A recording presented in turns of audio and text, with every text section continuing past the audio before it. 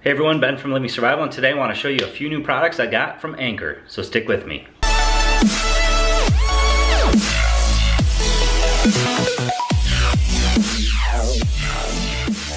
So I recently did a review on the Anker solar charger, which I keep in my get home bag to keep my devices topped off or to give me that emergency charge while on the go. And I generally will charge a battery bank such as these Astro E7s uh, and, you know, give myself enough juice during the day charging these up that I have enough to charge my devices at night.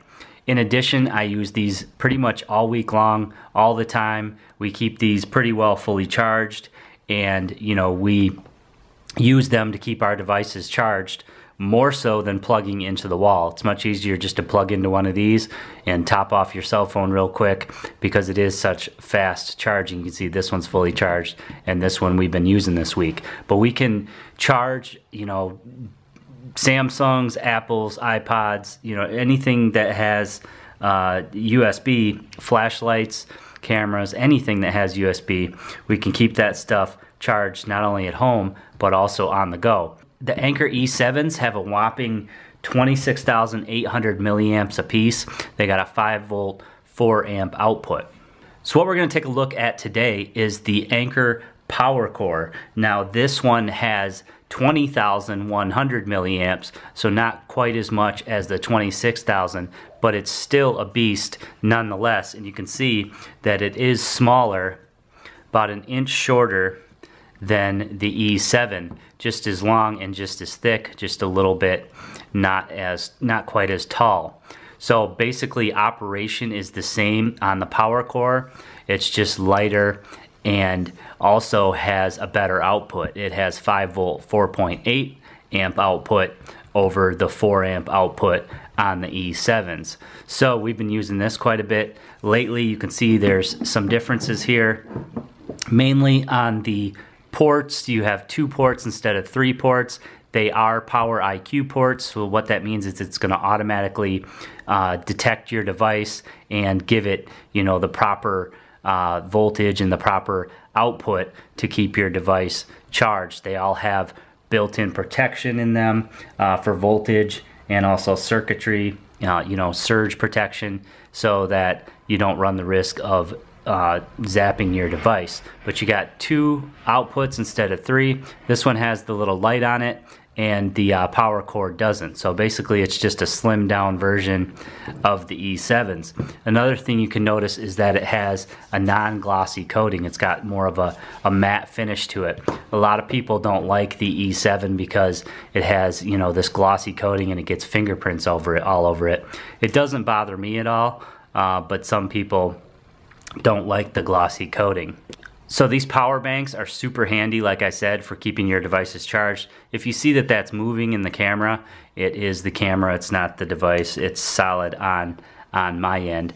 But basically, it's just that. It's just a robust battery backup. And like I said, you can use these to keep your cell phones, your GPS, your flashlights, you know, anything with a USB charged on the go. And like I said with the E7s, we use these at home. There's always one just sitting around and we plug into these way more often than we plug in to the wall.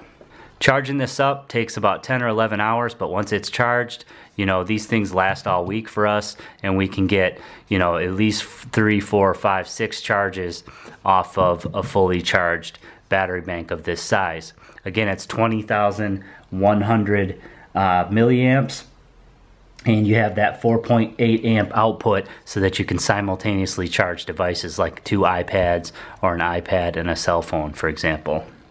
Anything you want to keep charged, such as this Olight flashlight, you simply just plug the device in and it's going to automatically sense the device and it will begin charging. It automatically knows the voltage with the Power IQ technology and it also has voltage boost so it's going to give your device the most amount of voltage that it can to charge it as quickly as it can. So another very cool product from Anker is this PowerPort 5. Now basically this is a wall charger. You plug it into the wall, but it gives you five USB outlets to keep your devices charged. in a hotel room, for example, or even around the house.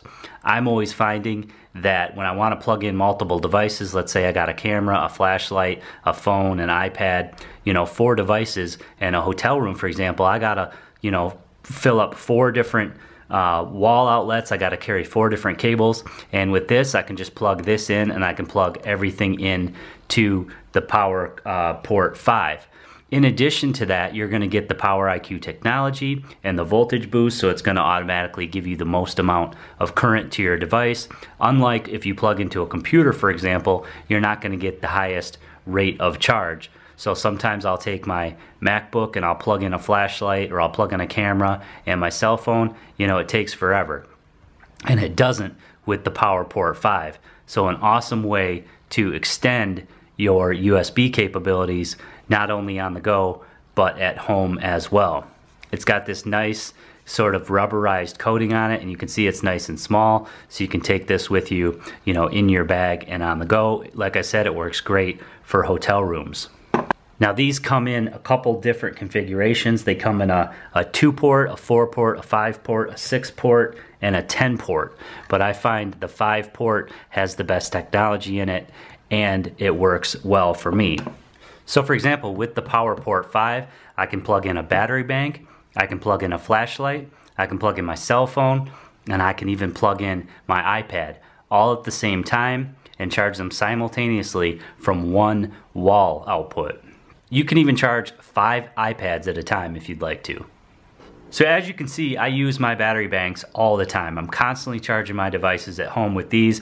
Uh, at home, I have this plugged in and keep my flashlights topped off plug in my battery banks or plug in my phone, you know, whatever I want to charge, I can do it conveniently all in one spot with one wall outlet.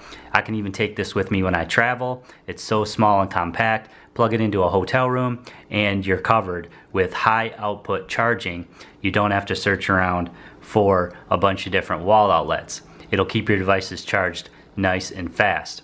So these battery banks that I have are the highest capacity ones. Again, 26,800 milliamps and 20,100 milliamps. So I'm gonna leave a link below to Anker's website where you can find out more and see all their products when it comes to USB battery banks, as well as all the different options that you can get in the power port.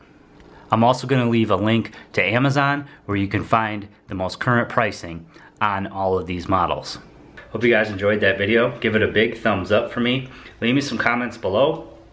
And as always guys, subscribe for more videos.